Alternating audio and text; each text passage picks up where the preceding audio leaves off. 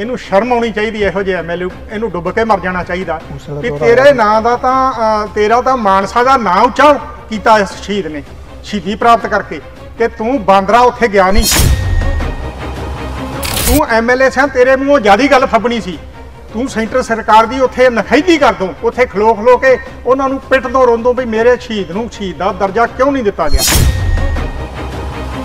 ਮੂਸੇ ਵਾਲਾ ਉਹ ਕੋਈ ਸਰੀਰ ਦਾ ਭਾਰਾ ਹੀ ਤੇ ਉਹ ਮੇਰਾ ਖਿਆਲ ਵੀ ਥੱਕ ਗਿਆ ਲੱਗਦਾ ਇਸ ਨੂੰ ਤੇ ਐਮਐਲਏ ਨਾ ਉਹਦਾ ਖਿੱਚ ਕੇ ਨਾ ਉਹਦਾ ਸਰੀਰ ਖਿੱਚਦਾ ਖਿੱਚਦੇ 69 11 ਨੂੰ ਖਿੱਚਦਾ ਖਿੱਚਦਾ ਤੇ ਥੱਕ ਬਾਲਾ ਗਿਆ ਤੇ ਹੁਣ ਇਹ ਆਰਾਮ ਫਰਮਾ ਰਿਹਾ ਹੈ ਤਾਈਆਂ ਕਰਕੇ ਇਹ ਸੰਸਕਾਰ ਤੇ ਨਹੀਂ ਆ ਸਕਿਆ। ਅਸੀਂ ਅੱਜ ਤੋਂ ਡੇਢ ਦੋ ਸਾਲ ਪਹਿਲਾਂ ਬਹੁਤ ਇਹਦੇ ਵਾਸਤੇ ਸੰਘਰਸ਼ ਕੀਤਾ ਸੀ ਵੀ ਸਕੀਮ ਨਾ ਚਲਾਈ ਜਾਵੇ। ਇਹ ਨੌਜਵਾਨਾਂ ਲਈ ਮਾਰੂ ਸਕੀਮ ਹੈ ਇਹ। ਇਹ ਸਾਡੇ ਭਾਰਤ ਲਈ ਮਾਰੂ ਸਕੀਮ ਹੈ। ਪਰ ਉਸ ਸਕੀਮ ਦੇ ਅੱਜ ਰਿਜ਼ਲਟ ਆਉਣੇ ਸ਼ੁਰੂ ਹੋ ਗਿਆ। ਜੋ ਪਹਿਲਾ ਰਿਜ਼ਲਟ ਆਇਆ ਅਗਨੀਵੀਰ ਅਮਰਤਪਾਲ ਸਿੰਘ ਜੀ, ਪਿੰਡ ਕੋਟਲੀ, ਜ਼ਿਲ੍ਹਾ ਬਾਂਸਾ ਵਿਪਨ ਰਾਤ ਨੂੰ ਤਾਂ ਰਿਜ਼ਲਟ ਮਿਲ ਗਿਆ ਇਹ ਸਕੀਮ ਤਿਆਰ ਕਰਨ ਵਾਸਤੇ, ਪਰ ਸਾਡੇ ਅੰਦਰ ਗੁੱਸਾ ਹੈ।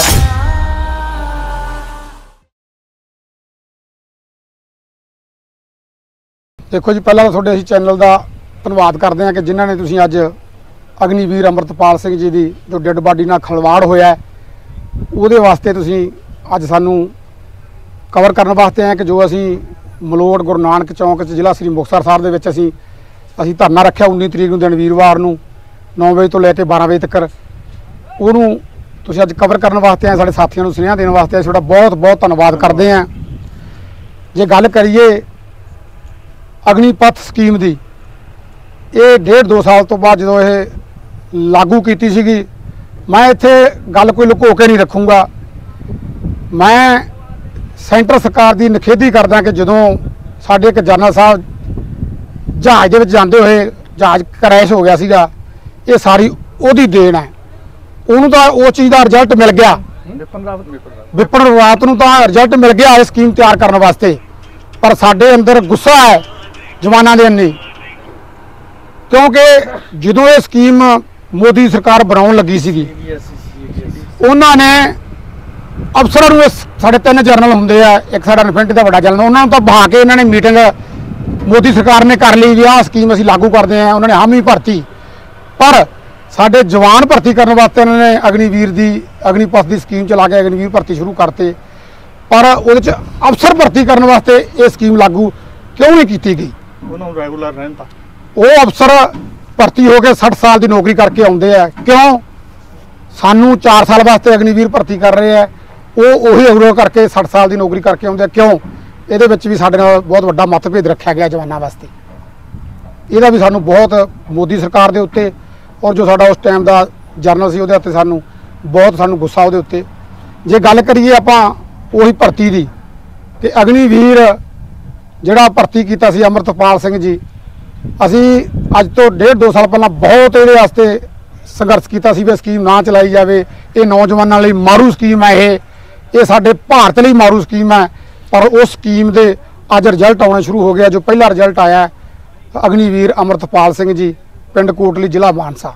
ਇਸ ਤਰ੍ਹਾਂ ਸਨਮਾਨ ਜਿਵੇਂ ਦਿੱਤੇ ਜਾਂਦੇ ਆ ਹਨਾ ਵੀ ਆਮ ਤੌਰ ਤੇ ਆਪਾਂ ਕੋਈ ਵੀ ਉਹਨੂੰ ਸਨਮਾਨ ਦਿੰਦੇ ਆ ਖਾਸ ਕਰਕੇ ਜਦੋਂ ਇਸ ਤਰ੍ਹਾਂ ਦੀ ਸਥਿਤੀ ਆਉਂਦੀ ਹੈ ਇਹ ਜਮਾਂ ਹੀ ਭੁੱਲ ਗਏ ਐ ਵਸਾਰ ਹੀ ਦਿੱਤਾ ਕੀ ਲੱਗਦਾ? ਦੇਖੋ ਜੀ ਮੈਂ ਤੁਹਾਨੂੰ ਦੱਸਾਂ ਤੁਹਾਡੇ ਚੈਨਲ ਦੇ ਮੱਧਿਆ ਰਾਹੀਂ ਦੱਸਾਂ ਕਿ ਆਪਾਂ ਸਾਰੇ ਪਰਿਵਾਰਕ ਬੰਦੇ ਆਪਾਂ ਗ੍ਰਸਤੀ ਜੀਵ ਜੀਨੇ ਆਪਾਂ ਆਪਾਂ ਘਰ ਦੇ ਵਿੱਚ ਕੁੱਤਾ ਵੀ ਰੱਖੀਏ ਜਾਂ ਆਪਾਂ ਕਬੂਤਰ ਵੀ ਰੱਖੀਏ, ਉਹਨੂੰ ਆਪਾਂ ਰੋਟੀ ਪਾਉਂਦੇ ਆ ਬੜਾ ਪਿਆਰ ਕਰਦੇ ਆ ਆਪਣੇ ਘਰ ਦੀ ਰਾਖੀ ਰੱਖਦਾ ਉਹ।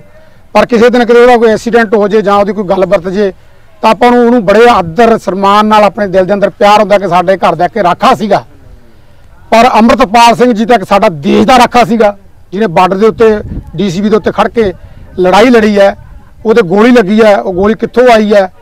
ਹੁਣ ਉਸ ਚੀਜ਼ ਨੂੰ ਛੁਪਾਉਣ ਵਾਸਤੇ ਇਹ ਕੋਟ ਨੁਕਾਰੀਆਂ ਰੱਖਤੀਆਂ ਇਹਨਾਂ ਨੇ। ਕਿਉਂ? ਕਿਉਂਕਿ ਇਹ ਜਿਹੜਾ ਡੀਸੀਬੀ ਹੁੰਦੀ ਆ ਜਾਂ ਆਈਐਸ ਹੁੰਦੀ ਆ ਜਾਂ ਅਸੀਂ ਕੋਈ ਵੀ ਟ੍ਰੇਨਿੰਗ ਕਰਨ ਜਾਂਦੇ ਆ, ਉਹਨੂੰ ਲੜਾਈ ਮੰਨਿਆ ਜਾਂਦਾ ਹੈ। ਉਹਦੇ ਵਿੱਚ ਕੋਈ ਵੀ ਐਕਸੀਡੈਂਟ ਹੋ ਜਾਵੇ, ਉਹਨੂੰ ਪੂਰੇ ਬੈਨੀਫਿਟ ਮਿਲਦੇ ਆ। ਇਹ ਬੈਨੀਫਿਟ ਅਮਰਤਪਾਲ ਸਿੰਘ ਜੀ ਨੂੰ ਮਿਲਣੇ ਚਾਹੀਦੇ ਆ। ਜੇ ਮੋਦੀ ਦੀ ਸਰਕਾਰ ਇਹਨਾਂ ਨੂੰ ਬੈਨੀਫਿਟ ਦੇ ਦੂਗੀ, ਠੀਕ ਹੈ, ਨਹੀਂ ਤਾਂ ਉਹਦਾ ਇਸ ਐਤਵਾਰ ਨੂੰ 22 ਤਰੀਕ ਨੂੰ ਉਹਦਾ ਅੰਤਮ ਅਰਦਾਸ ਹੈਗੀ ਹੈ ਉੱਥੇ ਅਸੀਂ ਸਾਰੇ ਸਾਬਕਾ ਸੈਨਿਕ ਪੂਰੇ ਪੰਜਾਬ ਦੇ ਜਾਂ ਲੱਗਦੀਆਂ ਨੇੜੇ ਸਟੇਟਾਂ ਦੇ ਅਸੀਂ ਉੱਥੇ ਭੋਜ ਦੇ ਉੱਤੇ ਇਕੱਠੇ ਹੋ ਰਹੇ ਹਾਂ। ਉੱਥੇ ਅਸੀਂ ਆਪਦੀ ਅਗਲੀ ਵਿਉਂਤਬੰਦੀ ਬਣਾਵਾਂਗੇ ਵੀ ਕਿਹੜੇ ਤਰੀਕੇ ਨਾਲ ਸਾਨੂੰ ਭਾਰਤ ਸਰਕਾਰ ਦਾ ਵਿਰੋਧ ਕਰਨਾ ਚਾਹੀਦਾ ਇਸ ਅਗਨੀਵੀਰ ਜਿਹੜੀ ਅਗਨੀਪਥ ਸਕੀਮ ਚਲਾਈ ਆ, ਉਹਦਾ ਅਸੀਂ ਵਿਰੋਧ ਕਰਾਂਗੇ ਔਰ ਉਹਨੂੰ ਅਸੀਂ ਬੰਦ ਕਰਾਉਣ ਵਾਸਤੇ ਅਸੀਂ ਪੂਰਾ ਸਾਨੂੰ ਰੇਲਾਂ ਰੋਕਣੀਆਂ ਪਈਆਂ, ਅਸੀਂ ਰੇਲਾਂ ਰੋਕਾਂਗੇ। ਜੋ ਵੀ ਸਾਨੂੰ ਕਰਨਾ ਪਿਆ, ਜੇ ਸਾਨੂੰ ਸਦਨ ਘੇਰਨਾ ਪਿਆ ਜਾ ਕੇ ਦਿੱਲੀ ਦੇ ਵਿੱਚ ਅਸੀਂ ਸਦਨ ਵੀ ਘੇਰਾਂਗੇ, ਅਸੀਂ ਹਰ ਤਰ੍ਹਾਂ ਦੇ ਸੰਘਰਸ਼ ਕਰਾਂਗੇ ਇਸ ਸਕੀਮ ਨੂੰ ਬੰਦ ਕਰਾਉਣ ਵਾਸਤੇ। ਜੇ ਇਹ ਮੋਦੀ ਸਰਕਾਰ ਸਕੀਮ ਬੰਦ ਕਰ ਦੂਗੀ ਠੀਕ ਹੈ। ਨਹੀਂ ਤਾਂ ਅਸੀਂ ਪੂਰੇ ਸੰਘਰਸ਼ ਛੇੜਾਂਗੇ ਐਤਵਾਰ ਨੂੰ ਉਹਦੀ ਅੰਤਮ ਅਰਦਾਸ ਤੋਂ ਬਾਅਦ। ਲਿਆਂਦੀ ਕਿਉਂ ਗਈ ਸਕੀਮ? ਕੀ ਮੋਟਿਵ ਕੀ ਲੱਗਦਾ ਹੈ ਵੀ ਮੋਦੀ ਸਰਕਾਰ ਦਾ ਇਸ ਸਕੀਮ ਦੇ ਪਿੱਛੇ ਕੀ ਮੋਟਿਵ ਹੈ? ਦੇਖੋ ਜੀ ਮੈਂ ਗੱਲ ਕਰਾਂ ਤਾਂ ਜਿਹੜੀ ਇਹ ਸਕੀਮ ਚਲਾਈ ਆ ਇਹ ਮੋਦੀ ਸਰਕਾਰ ਨੇ ਕਿਉਂ ਚਲਾਈ ਹੈ? ਇਹਨਾਂ ਦਾ ਇੱਕ ਸਸਤਾ ਬਣਾਈ ਹੈ ਇਹਨਾਂ ਨੇ ਇੱਕ ਆਰਐਸ ਆਰਐਸਐਸ ਆਰਐਸਐਸ ਨੂੰ ਇਹ ਟ੍ਰੇਨਿੰਗ ਓਪਨ ਦੇ ਵਿੱਚ ਨਹੀਂ ਦੇ ਸਕਦੇ। ਇਹਦੀ ਆਰ ਦੇ ਵਿੱਚ ਆਪਦੇ ਆਰਐਸਐਸ ਦੇ ਜਿਹੜੇ ਉਹਦੇ ਨੁਮਾਇੰਦੇ ਹੈਗੇ ਆ, ਉਹਨਾਂ ਨੂੰ ਇਹ ਟ੍ਰੇਨਿੰਗ ਦੇਣਗੇ। ਟ੍ਰੇਨਿੰਗ ਦੇ ਕੇ ਉਹਨਾਂ ਨੂੰ ਹਥਿਆਰ ਸਿਖਾਉਣਗੇ, ਉਹਨਾਂ ਨੂੰ ਲਾਠੀ ਚਲਾਉਣੀ ਸਿਖਾਉਣਗੇ। ਹਰ ਤਰ੍ਹਾਂ ਦੀ ਟ੍ਰੇਨਿੰਗ ਫੌਜ ਦੇ ਵਿੱਚੋਂ ਲੈ ਕੇ ਉਹਨਾਂ ਨੂੰ ਮੁੜ ਕੇ ਆਰਐਸਐਸ ਦੇ ਵਿੱਚ ਭਰਤੀ ਕਰਨਗੇ। ਨੰਬਰ 2 ਜਿਹੜੇ ਇਹਨਾਂ ਦੇ ਗਲਵੱਖੜੀ ਯਾਰ ਆ ਇਹਨਾਂ ਦੇ, ਜਿਨ੍ਹਾਂ ਨੇ ਇਹਨਾਂ ਦੀ ਇਹਦੀ ਸਰਕਾਰ ਬਣਾਈ ਸੀਗੀ ਅਡਵਾਨੀ ਅਬਾਨੀ ਉਹਨਾਂ ਦੇ ਜਿੰਨੇ ਸੈਲੋ ਬਣੇ ਆ ਜਾਂ ਸੈਲਰ ਬਣੇ ਆ ਜਾਂ ਹੋਰ ਚੀਜ਼ਾਂ ਬਣੀਆਂ ਉਹਨਾਂ ਦੇ ਵਿੱਚ ਇਹ ਸਾਡੇ ਅ, ਅਗਨੀਵੀਰਾਂ ਨੂੰ ਸਿਕਿਉਰਿਟੀ ਗਾਰਡ ਦੇ ਤੌਰ ਦੇ ਉੱਤੇ ਵਰਤਣਗੇ ਕਿਉਂਕਿ ਸਾਡੇ ਲੱਖਾਂ ਦੇ ਵਿੱਚ ਸਾਡੇ ਅਗਨੀਵੀਰ ਜਿਹੜੇ 4 ਸਾਲਾਂ ਬਾਅਦ ਉਹ ਪਿਰਸਨ ਆ ਜਾਣਗੇ। ਉਹ ਜਦੋਂ ਬੇਰੁਜ਼ਗਾਰ ਹੋ ਗਏ ਉਹਨਾਂ ਦਾ ਆਪਦਾ ਘਰ ਦਾ ਚੁੱਲ੍ਹਾ ਚਲਾਉਣ ਵਾਸਤੇ ਉਹ ਕੀ ਕਰਨਗੇ?